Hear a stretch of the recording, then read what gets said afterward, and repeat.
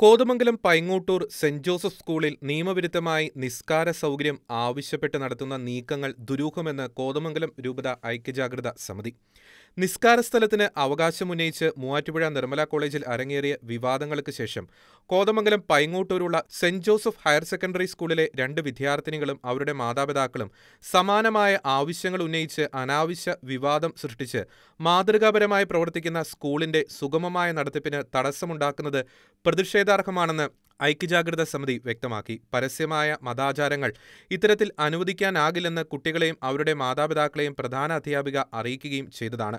തുടർന്നുള്ള ദിവസങ്ങളിലും ഇത് ആവർത്തിച്ചപ്പോൾ മാതാപിതാക്കളെ വിളിച്ച് കേരളത്തിലെ പൊതുവിദ്യാഭ്യാസ നിയമങ്ങളും ഭരണഘടന അനുവദിക്കുന്ന ന്യൂനപക്ഷ അവകാശങ്ങളും അടിസ്ഥാനമാക്കിയുള്ള മാനേജ്മെന്റിന്റെ നിലപാട് വ്യക്തമാക്കിയതായും ഐക്യജാഗ്രതാ സമിതി ചൂണ്ടിക്കാട്ടി. ഈ വിഷയത്തിൽ കത്തോലിക്ക മാനേജ്മെന്റ് സ്കൂളുകളുടെ എക്കാലത്തെയും നിലപാട് നിയമാനുസൃതവും വ്യക്തവുമാണ്. മതന്യൂനപക്ഷ സ്ഥാപനങ്ങൾ എന്ന നിലയിൽ കത്തോലിക്ക വിദ്യാഭ്യാസ സ്ഥാപനങ്ങളിൽ ക്രൈസ്തവ വിശ്വാസവും സംസ്കാരവും പൈതൃകവും നിയമാനുസൃതമായി പരിരക്ഷിക്കാനുള്ള അവകാശം ഭരണഘടന ഉറപ്പു തരുന്നുണ്ട്.